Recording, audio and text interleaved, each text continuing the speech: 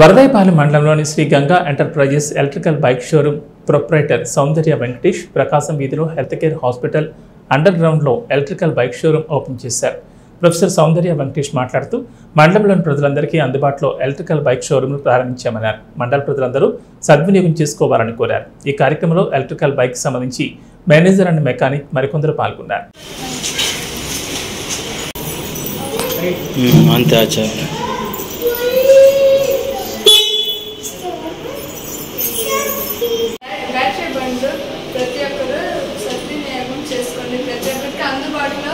Fast respond ఇది five hours charge చేసినామంటే forty two sixty seventy one sixty kilometres వస్తుంది. ఇది lithium fluoro battery three years వాటిని ఉంటుంది. రివర్స్ మోడ్ ఉంటుంది.